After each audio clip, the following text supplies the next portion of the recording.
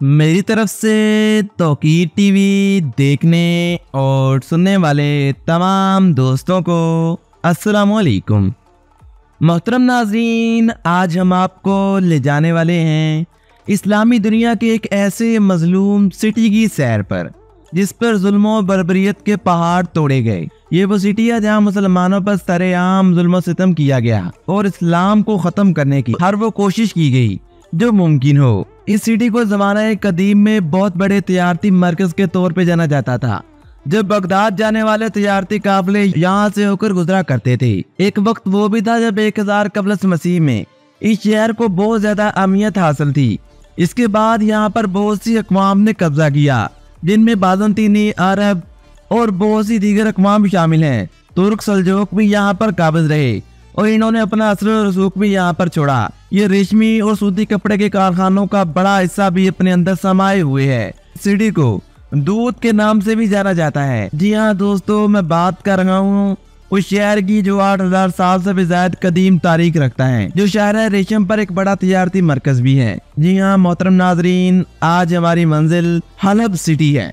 आज हम आपको हल्फ के बारे में दिलचस्प और हैरान को नकायक बताएँगे। इसे इस्लामी दुनिया के दिलचस्प और खूबसूरत तरीन सिटी में से एक के तौर पर भी जाना जाता है। लेकिन ये उस सरजमीन का हिस्सा है जहाँ जुल्म बरबरीत के पहाड़ तोड़े गए हैं और हर वो ताकत जो बरसर इकतदार है। और कुफर के खिलाफ बात करती है, उसे यहाँ पर खत्म कर दिया जाता है। मजीद आगे बढ़ने से पहले आप तमाम दोस्तों से गुजारिश है कि हमारे यूट्यूब चैनल तोकी टीवी को सब्सक्राइब करना और साथ आ रहे बेल के आइकन को दबाना मत भूलिएगा। दोस्तों, हल शुमाल मगरबी शाम का एक पुराना और मशहूर शहर है, जो जमाना कदीम में बहुत बड़ा तजारती मरकज हुआ करता था। बगदाद जाने वाले तजारती काफले यहाँ से होकर जाया करते थे। एक हज़ार कबल मसीह में इसको एक खास हैसियत हासिल थी। बाजंतीनी ऐद हुकूमत ने इसको बड़ी तरक्की दी और सातवीं सदी में इस पर अरबों ने कब्जा कर लिया। दसवीं सदी में ये फिर बाजंतीनियों के कब्जे में चला गया और ग्यारहवीं सदी के आखिर में इस पर सलजोग तुर्क काबज हो गए। 1124 में सलेबियों ने इसका मुहासरा कर लिया और ग्यारह में सुल्तान सलाहुद्दीन अयूबी ने इसे अपने कब्जे में ले लिया। 1260 ईस्वी में इस पर हलाकू खान और 1401 में अमीर तैमूर ने कब्जा किया और 1517 में फिर ये उस्मानवी तुर्कों के कब्जे में आ गया। चंद साल इस पर मिस्र का तसलत भी रहा। यहाँ रेशमी सूती कपड़े के कारखाने मौजूद है। किसी जमाने में यहाँ का आईना बहुत मशहूर हुआ करता था। अरब में हलब दूध को कहते हैं।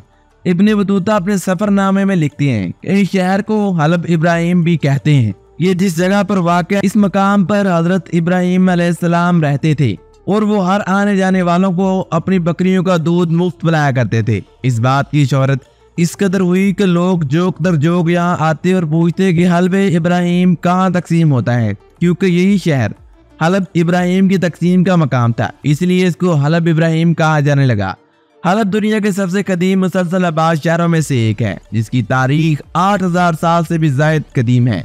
ये तुर्की की सरहद के करीब शुमाली शाम में वाक़ है। हलब को अरबी ज़ुबान में भी हलब कहा जाता है। ये शहर शारा रेशम का बड़ा तजारती मरकज था, जो बीर रूम को एशिया से मिलाता था। हलब को सिकंदर आज़म ने तीन सौ तैतीस कब्रस मसीह में फतेह किया था। ये शहर यूनानी, रोमन, बाजंतीनी, अरब समेत मुख्य तहजीबों के असरात के साथ। एक भरपूर सकाफती विरसा रखता है। हलब का तारीखी पुराना शहर यूनेस्को का आलमी सकाफती विरसा है और ये अपनी तंग गलियों और कदीम फन तामीर के लिए मशहूर है। हलब की अमूवी मस्जिद दुनिया की कदीम तरीन मसाजिद में से एक है जो आठवीं सदी की है। हलब का किला करोने वस्त का एक बड़ा किला है जो शहर की स्काईलाइन पर हावी है। ये शहर टेक्सटाइल और कालीन की पैदावार का एक बड़ा मरकज भी है। अलब साबन, जैतून के तेल और साबन की एक मशहूर किस्म के लिए जाना जाता है, जो सदियों से यहाँ तैयार की जा रही है। शहर की तस्वीराती ने इसे पूरी तारीख में मंगोल, सलीब और मुख्तलिफ़ बातों का हदब बनाया। अलब पर कई सदियों तक सल्तनत उस्मानिया की हुकूमत रही और बीसवीं सदी में अलब फ्रांस से आज़ादी हासिल करने के बाद जदीद शाम का हिस्सा बन गया। शाम की आज़ादी के इब्तदाई सालों में ये शहर सियासी और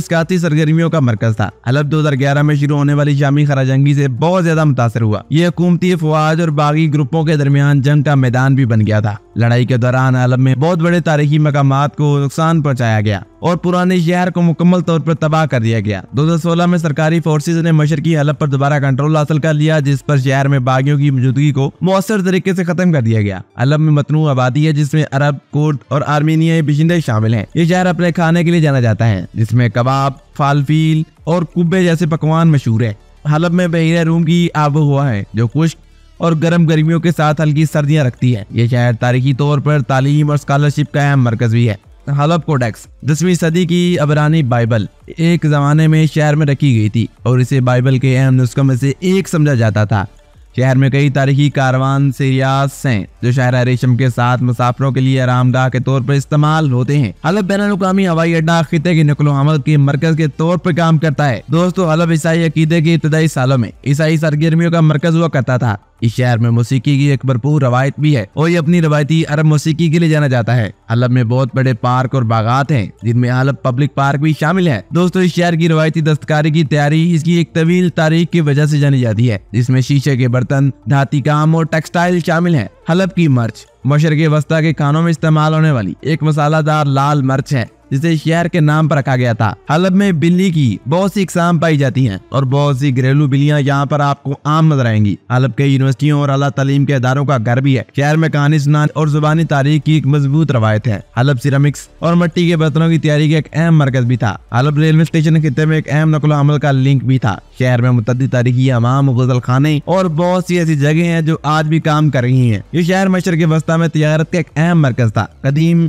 शहर अबेला का एक मशहूर मुजस्मा हलब बुआर अब हलब के म्यूज़ियम में रखा गया है। इस शहर में खताती और मखतूतात की रोशनी की एक भरपूर रवायत भी है। हलब कदीम जमाने में जदीद तरीन शहरी मनसूबाबंदी की वजह से जाना जाता था। ये शहर पूरी तारीख में अदब फनून के बेशुमार कामों में नमाया रहा है। हलब अपने हलचल से भरपूर बाजारों और सूकों के लिए जाना जाता है, जहाँ मुख्तलिफ़ किस्म के सामान देख सकते हैं। हलब के नेशनल म्यूज़ियम में सारा कदीमा के नमूने, और एक भरपूर तारीख का नमूना मौजूद है। शहर में एक मुतारिक थिएटर और परफॉर्मिंग आर्ट का मंजर भी है। हलब रेशम और ऊन समेत टेक्सटाइल की पैदावार का एक अहम मरकज भी है। हलब स्पाइस मार्केट खाने के शौकीन अफराद के लिए एक मशहूर मकाम है। इस शहर में मजहबी रवादारी की एक तवील तारीख है। हलब में मुतद तारीखी गिरजाघर और मसाजिद भी है, जो आपको वाजे देखने को मिलेंगे। इस शहर में पानी के पहिए जिन्हें नोरियाज के नाम से जाना जाता है तारीखी अहमियत के हामिल हैं। इस शहर को अपने पचीदा रंगीन टेक्सटाइल के लिए जाना जाता है, जिसमें सिल्क ब्रोकेट शामिल है। करुण वस्त के दौरान अलब यूरोपी शहरों के साथ एक अहम तजारती शराकतदार हुआ करता था। शहर का फन तमीर मुख्तलिफ़ तर्जों के अमतदाज की इक्सी करता है, जिसमें इस्लामी, उस्मानवी, फ्रांसीसी